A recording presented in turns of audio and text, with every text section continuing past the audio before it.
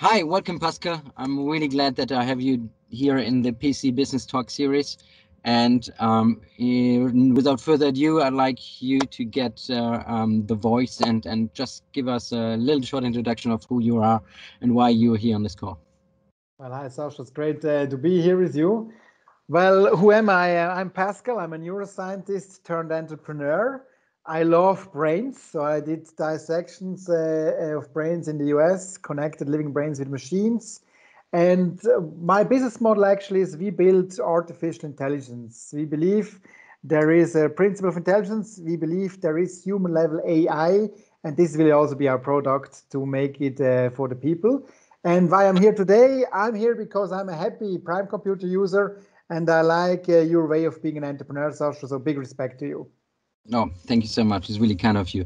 Yes, uh, more than that, we actually know each other since about nine years. I think uh, I've probably become friends. I'm really happy about that, and uh, you're, you're, kind of uh, someone I'm really look up to. So thank you for, so much for being here in this call. And um, we are squash uh, squash partners, Sacha. Very yes. important as well. Yeah. Okay.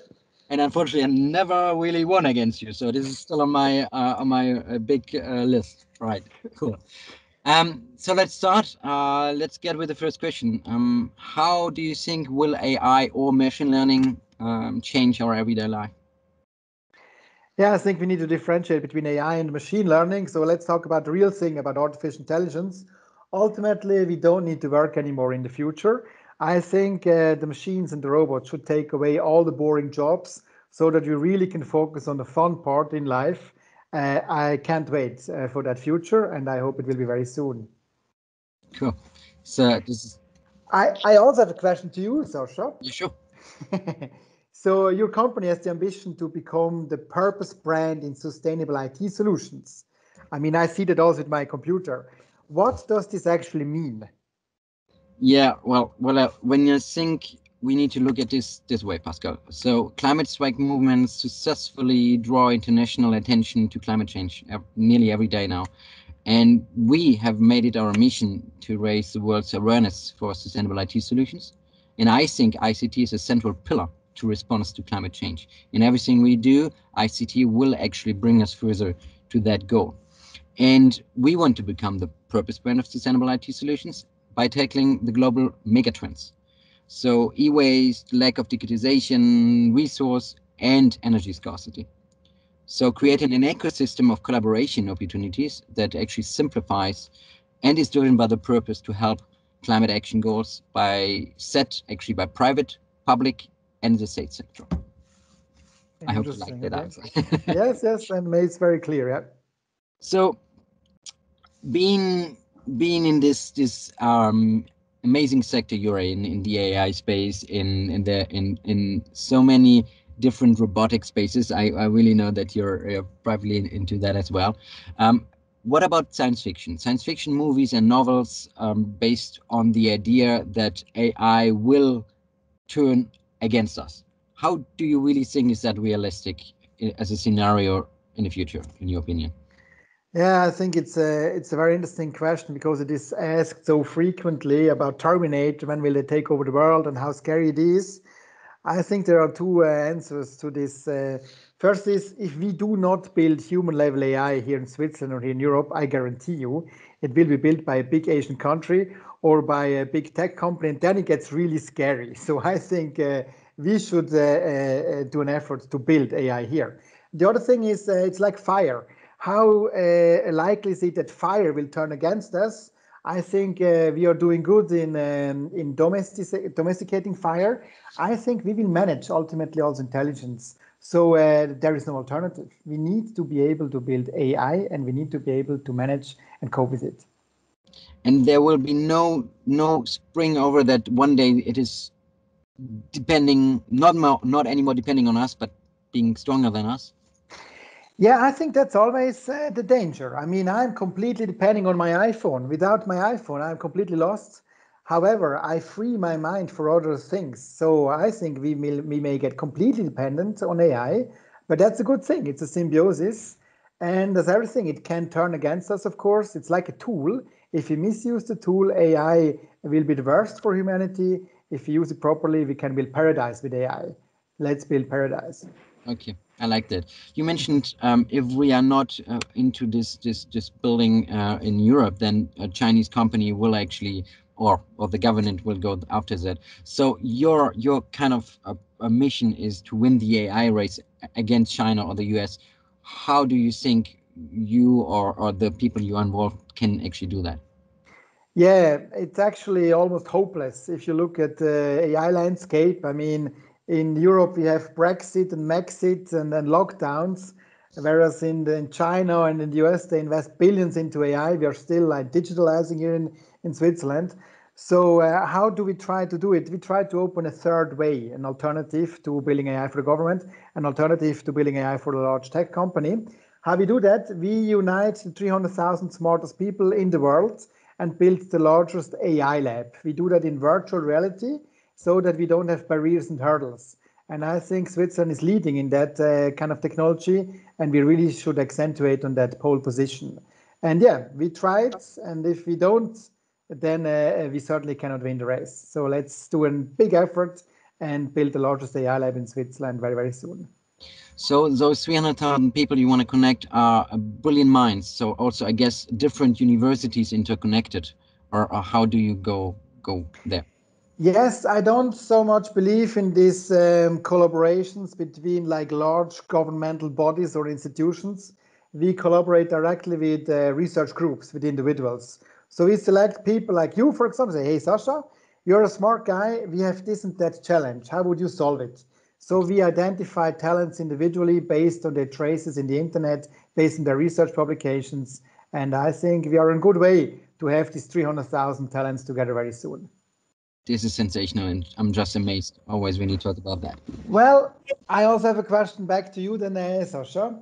I mean, I know you since quite a few years, and when getting to know you, people rapidly, like rapidly, get the information that you are very much into motivating people around you and that you act in a in a in a sustainable way. Why is that so? Why are you like that, Sacha?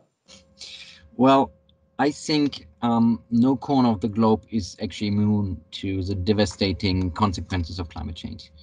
Um, it is the defining crisis of our time. This is a decade is about that, and it's happening even more quickly than we are than we feared. But we are far from being powerless, and in the face of this global threat, we need to be structured together and only if we can act quickly and consistently, we can limit those global warming effects. You and I, we are both dads, and looking on that current situation, I'm sure you agree with me that we we want to preserve the natural basis of life for, yeah, uh, for and win actually a future worth living for the present and the future generations. And this is a problem that is above all, and we need to be there together, um, not just humans, but institutions, um, ideas, thoughts. And I think that the infinite cost of climate change reaches, reaches actually irre irreversible heights. And now is the time to be bold and to have this collective action. So climate emergency is a race we are currently losing, unfortunately, but it's a race we still can and we need to win.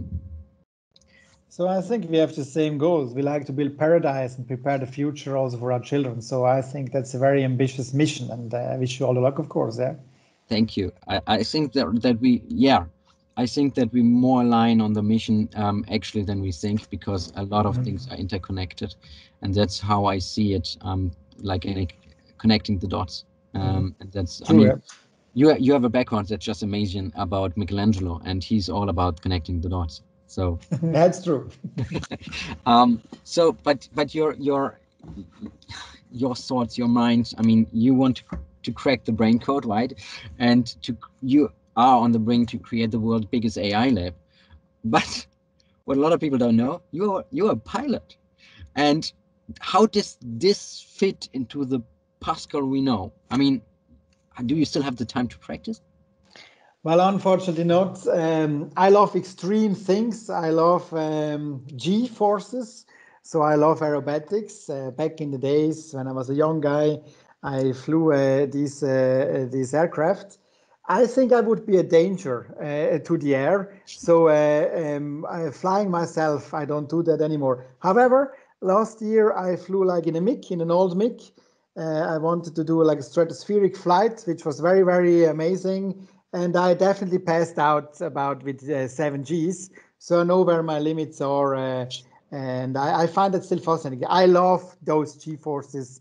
I love being in the sky, and maybe one day also on Mars. Who knows? So I I, I like these um, these aircrafts and these space shuttles and rockets a lot.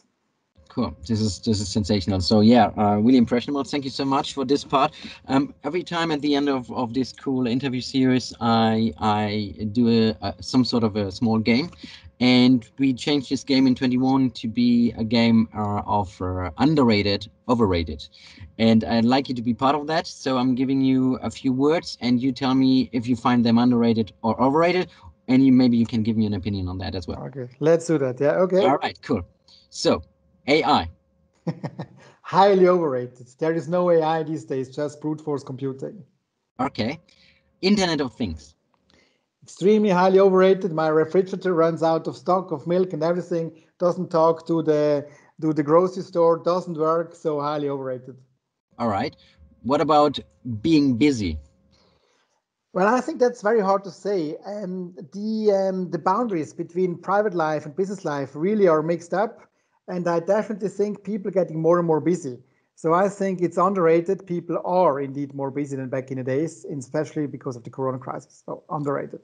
All right. Okay. What about the term of brain jogging? Oh, highly underrated. We need uh, the brain is like a muscle. We need to do brain jogging every day. We should do much, much more. What about science fiction? Also highly underrated. I think we need to pay much, much more attention to science fiction. A lot of things have already been thought for example, a world without uh, money. So we should definitely pay more attention to science fiction. Okay. What about impact investment? I also think that's underrated. We should do much more in impact investment. I mean, we only should invest in stuff that makes our planet a better place. So highly underrated as well. What about re-engineering waste? Well, that's the very same, highly underrated. I think, uh, of course, in Switzerland, maybe a few other countries around us, they do this uh, uh, this recycling, this re-engineering waste. However, in most countries in the world, this doesn't happen. So it's highly underrated. We should do much more in that field. Thank you so much, Pascal. This was amazing. Great answers. Thank you for being here on this panel. And I hope to see you soon again. Thanks lots, also. Bye bye. Thanks you. Bye.